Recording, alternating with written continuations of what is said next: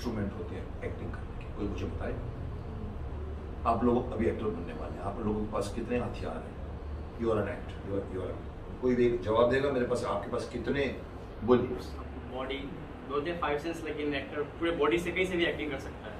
और आपका भी शायद मानना है कि 70 परसेंट वॉइस एक एक्टर का ज़रूरी होता है। बैठ जाइए। देखिए इन्होंने सही जवाब दिया। हमारे पास क्या होती है? हमारे पास फेस होता है।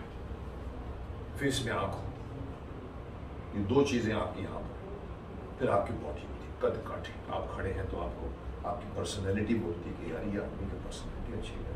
तो ऐसे कोई अच्छा आदमी एंटर करे ना बिकॉज़ आजकल माफ़ करना, अच्छी आदमी, अच्छी पर्सनैलिटी नहीं मिलती।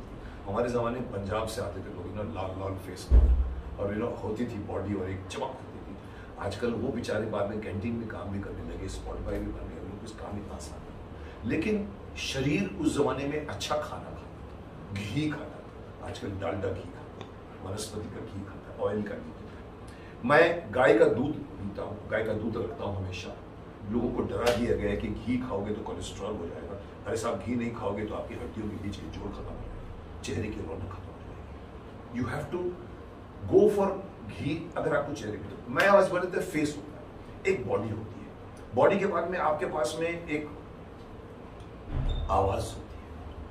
So this is the last part is voice आप जब एक्टिंग करते हो, सबसे पहले आप एक्टिंग कल ही मैंने कहा था कि एक्टिंग यहाँ से होती है। तो किसी ने मुझे काटा बोला, नहीं सर, अगर आपको हिस्टोरिकल कैरेक्टर करना मैंने कहा यस उसके लिए बॉडी चाहिए। बट सिक्स पैक नहीं चाहिए एक्टिंग करने के लिए। मैं एक्टर की एक्टिंग नहीं करूँगा। आपने सिक्स पैक नहीं देखा। यहाँ पर राजकुमार बोलो या दिलीप कुमार बोलो, राजकुमार से लेकर दिलीप कुमार से लेकर आप राज कपूर, आप गिनना शुरू कीजिए, आपको सब मिलेंगे, देवानंद। वो उनकी बॉडियाँ ऐसी होती एम होती थी। वही सिक्स पैक लेके नहीं घूमता था शर्ट पैंट पहनते थे अच्छे लगते you should look good take care of a body stamina बनाओ। कभी भी मैंने अभी वीडियो बनाई थी जिसकी अभी डेथ हुई है जो मलखान दीपेश बान दीपेश मलखान मैंने अगेन वही बात बोली जो मैंने सिद्धार्थ के लिए कही थी कि कभी भी ओवर एक्सरसाइज मत करो।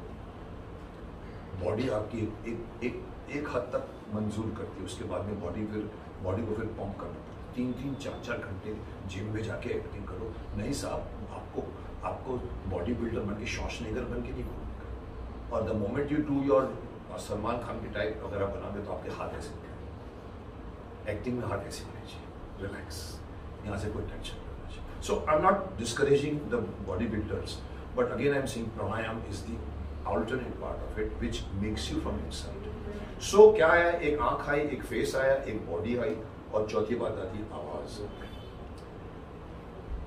आपने कभी देखा होगा कि एक्टिंग में हम आवाज़ भी नहीं यूज़ करते, इशारों इशारों में भी एक्टिंग हो जाती है। You don't need the voice to communicate your expression. Ad films are usually known for that, कि एक एक्सप्रेशन इतना कर दिया तो वो भर जाता है। एक पंद्रह सेकंड बीस सेकंड की पूरी की पूरी फ़िल्म बनती है जब एड फ़िल्म देखो।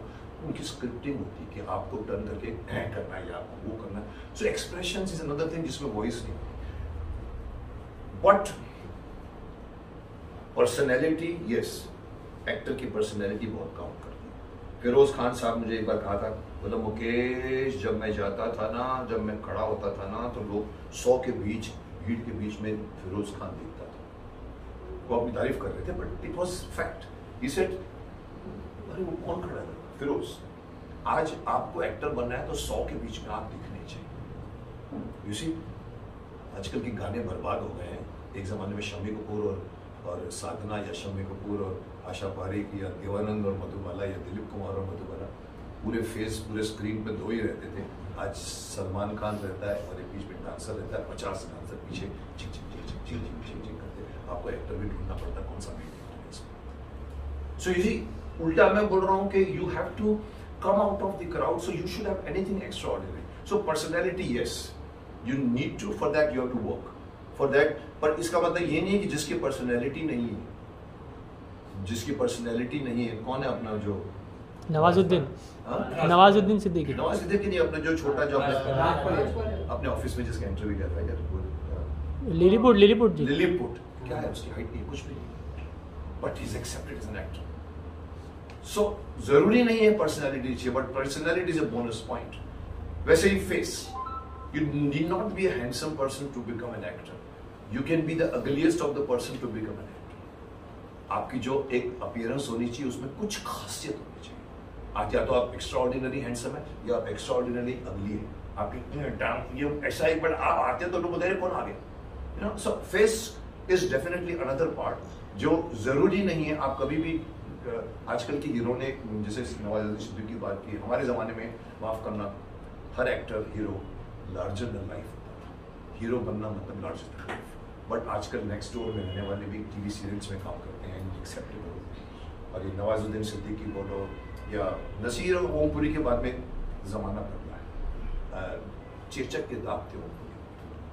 बीच में नहीं आए। So then we come to voice अभी देखिए, ये जब हम किसी को एंटर करके देखते हैं, हम इम्प्रेस हो जाते हैं। ये कौन है यार? अच्छा है। वो आपके वहाँ खड़ा होकर बात करता और वो जैसी ही बात करता है, और जैसे ही वो मुँह खोलता है, ये कैसी है यार? धम करके इमेज गिर जाता है। ये एक एक्टर के साथ हुआ था। अगर किसी को पता हो तो एक यश चोपड़ा की फ़िल्म में एक एक्टर जैसे ही उसने मुँह खोला फ्लॉप उसकी dubbing even Yash even Firoz Khan की फ़िल्म में उस लड़के को डबिंग नहीं करवाई थी, बेचारी, उसकी आवाज़ ठीक नहीं थी। सो आवाज़ अनदर फैक्टर है जो आपको काम देती है, नाम देती है, या आप बोलते यार, इसकी आवाज़ अच्छी थी न, आवाज़ सिक्सटी परसेंट ऑफ़ एक्टिंग है, जैसे मैं कहता हूँ, जैसे वो आवाज़ ऐसी होती है, एक भगवान की दी हुई आवाज़ होती है, एक एक आवाज़ वो होती है जो आपने कल्टिवेट की आप जो मेरे को सुन रहे हो, मेरे को ये बोलने का हक इसलिए कि ये मेरी आवाज़ पहले ऐसी नहीं थी, मेरी आपकी, अभी की आवाज़ और मेरी फ़िल्में दर्द दिल देखी, वक्त की शहजादी देखी कैप्टन बैरी देखी और आज की फ़िल्म अगर आप उठा के देख लीजिए, आपको मार्क डिफरेंस वज़न ऑफ़ ब्रेथ वहाँ मैं प्राणायाम इतना नहीं करता था योगा, लेकिन मेरी आवाज़ थी, अच्छी थी। बिकॉज़ भगवान ने, मालिक ने आपको एक आवाज़ दी होती है, वो आपके भगवान की दी हुई आवाज़ होती है। जैसे आप किसी को फ़ोन करते हैं और सामने वाला आदमी इमीडिएटली बोलता अरे अरे, रमेश बोल रहा उसको पता है रमेश की क्वालिटी क्या है दैट्स ऑल बट एक होती है क्वांटिटी जो हम कहते सारे गामा पाधा निसा। वो वो आपको। भगवान आपको वो नहीं करते। देर वेयर द थिंग्स जैसे मेरा मैं आपके खुलेआम बोल सकता हूँ मैं मेरा बड़े भाई एक्टर बनना चाहते थे और उन्होंने मेरे को आ, उनको एक्टर फादर ने बनने नहीं दिया शादी करा के बिठा दिया फैक्ट्री में तो उन्होंने मेरे को खुश किया। और मैं तो इंजीनियर बनना चाहता था कोई हाँ क्रिटिसाइज ज़रूर करता था यार दिलीप मैंने अच्छा काम किया उसने दैट्स ऑल बट मुझे नहीं पता था कि मैं आगे चला जाऊँगा और भाई साहब बेचारे उनकी डेथ भी हो गई। बट वो मेरे को रोकते थे वो मुझे पकड़ के ले गए थे चल तुमको मैं रमेश तलवार से मिलाता हूँ चल मैं तुमको इप्चा में लेकर गए मैंने कहा यार मुझे काम नहीं करना।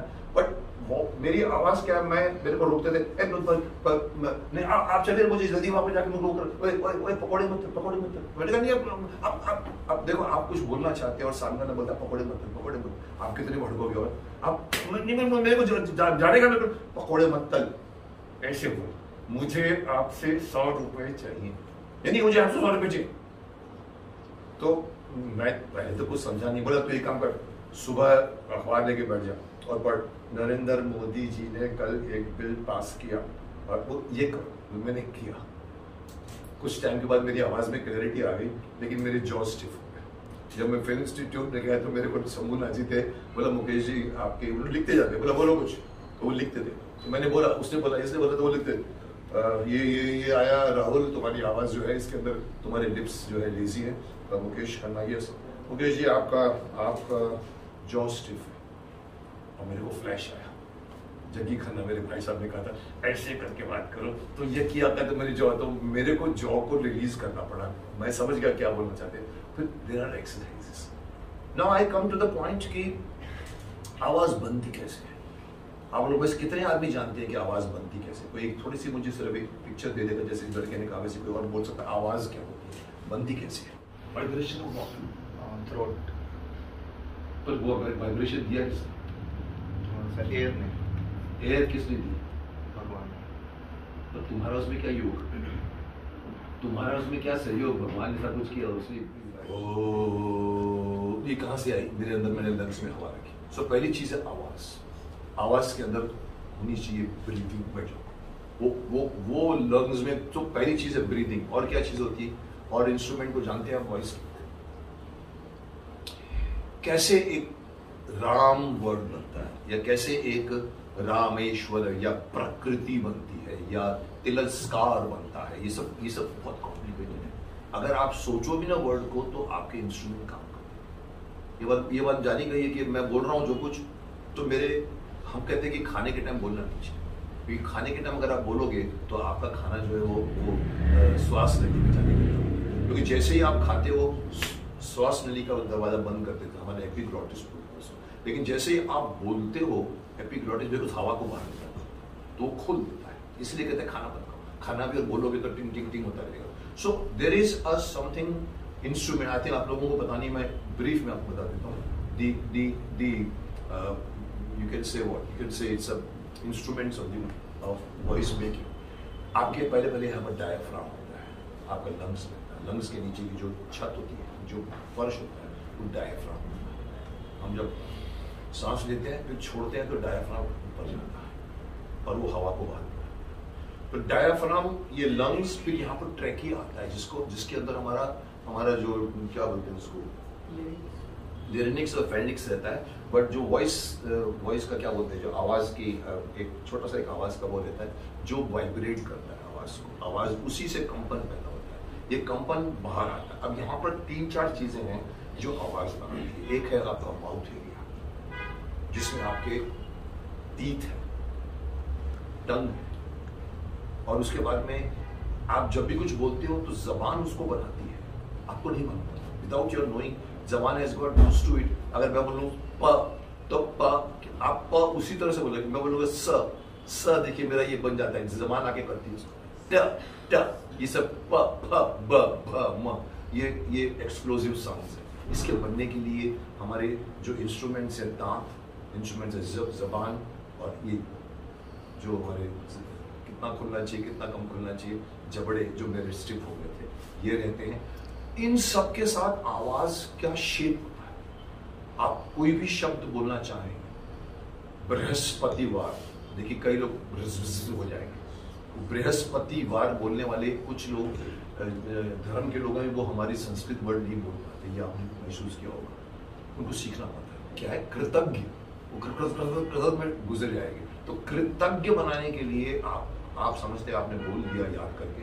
नहीं साहब, आपका ये पूरा वॉइस जो है बनाता है। इसके बाद में सबसे बड़ी बात जो आती है, वो नेजल ये नाक उसमें काम करता है। ये नेजल के बगैर जो आवाज़ निकलेगी, वो गटरल होती है, वो ऐसे निकलेगी।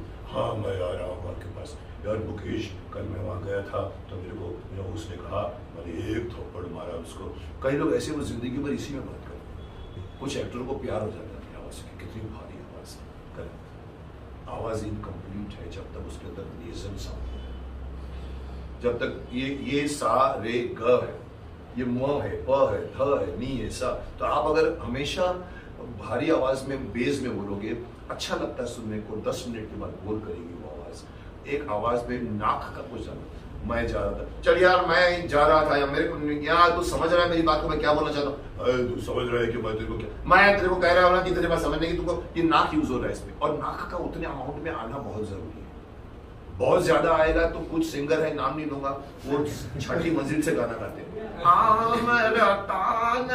हिट है, क्योंकि म्यूज़िक हिट हिट है, वो हिट है। बट गलत है, उसको, वो छठी मंजिल पे मत गाइए। आप ग्राउंड पे आइए ग्राउंड के साथ आप लंग्स लीजिए, आप अपने अपने डायफ्राम को यूज़ कीजिए तो आवाज़ यहाँ से निकलती है। और यहाँ आती है, आती आती है, उसके बीच में बेस्ट साउंड जो मैं बोलूँ, जिसको हम लोग सोनरस आवाज़ कहते हैं, जिसमें इन सब का मिश्रण रहता है नो ने, नेजल भी रहता है और गला भी रहता है। सिर्फ़ गला गड़बड़ सिर्फ़ नेजल फिर आप वो सिंगर बन जाएँगे। फिर तो कहीं ना कहीं आपको उसका मिक्सचर करना पड़ता है। वो मिक्सचर वाली आवाज़ जिसकी होती है वो लोग भाग्यशाली होते हैं। शायद उन्होंने काम भी नहीं किया होगा। जैसे मैं समझता हूँ मैंने एग्ज़ाम्पल दूँ बलराज सानी को कभी आप सुनो? बोला बलराज सानी जी की आवाज़ सोनरस आवाज़ थी आपको सुनाई देगी आप भीड़ में भी उनकी आवाज़ निकलेगी so now we come to the point where जिसके लिए मैं खास आपके पास आया हूँ। इसीलिए नहीं कि मेरी आवाज़ बहुत अच्छी है इसलिए नहीं बट कई लोग मुझे बिगाड़ देते हैं, सर, आपके तीन चार आवाजों में से आपकी आवाज़ आती है। मैं मैं मानूँ तो फिर सातवें आसमान में घूमूँगा, मैं नहीं मानता मैं ग्राउंड में रहता बट मुझे मालूम है कि मैंने अपनी आवाज़ को कल्टिवेट किया अफसोस ये रह गया कि महाभारत के पहले मेरे जग्गी कन्नन जी के भाई साहब की डेथ हो गई थी। तो he could not see my dialogues जो मुझे रोकते थे, उनको मालूम पड़ा नहीं कि मेरी डायलॉग्स बीतता है। पर उनको ये मेरा अफसोस रहा कि उनकी डेथ थोड़ी पहले हो गई। बट ये आवाज़ मैंने कल्टीवेट की है, उसके लिए चंद मैं आप लोगों को एक्सरसाइज आयुष्मान बटन हल्की सी सांस हमेशा लीजिए, कीजिए।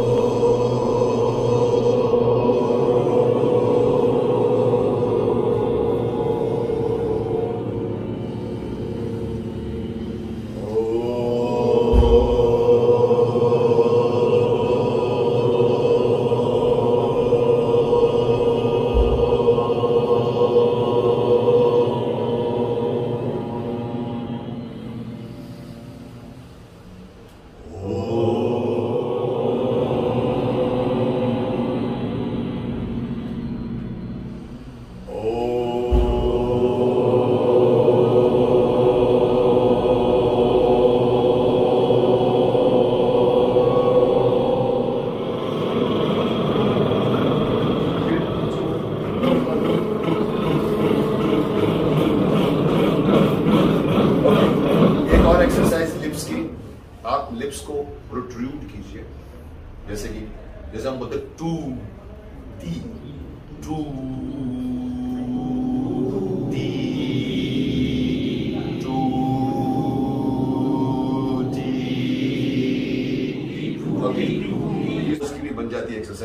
और लिप्स की करेंगे लिप्स की ये तीन भी अगर आप करेंगे तो आपके लिप्स का भी लेजी नहीं होगा। अब आते हैं टंग की। टंग भी अगेन बहुत इंपॉर्टेंट पार्ट है वॉइस मेकिंग का। उसका भी एक्सरसाइज में अगेन ड्रिलिंग आती है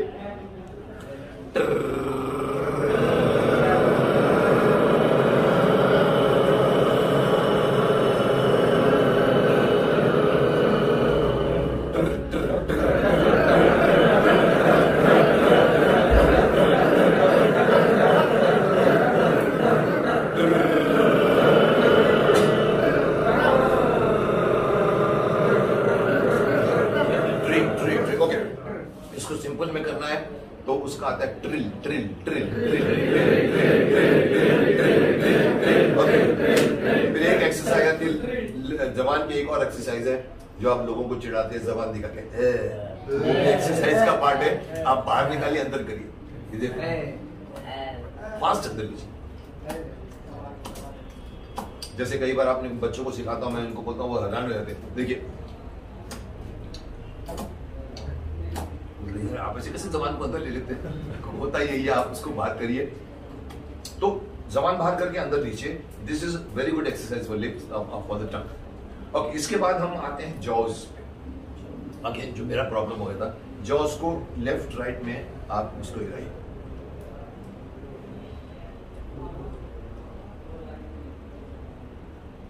ओके इसके बाद एक है जो पूरा राउंड कीजिए। उल्टा कीजिए। ओके इसमें फिर एक एक्सरसाइज है जो मैं बहुत किया करता था, अपने टेरेस पे जाता था तो लोग बोलते थे कि कर क्या रहा है ऊपर? पक्षियों को बुला रहा है देखिए या या या या या या या या या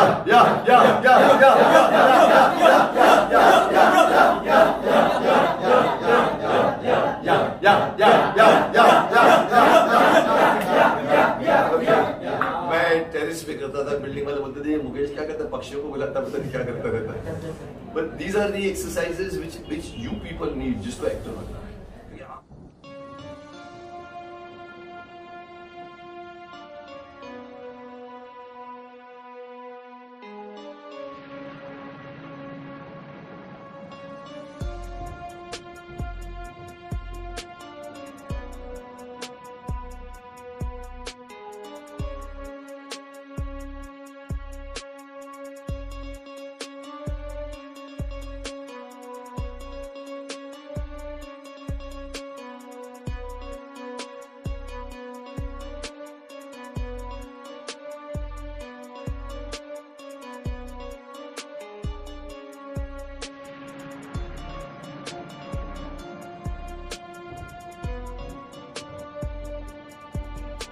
ना तो मैं कोई अवतार हूँ ना ही कोई फरिश्ता।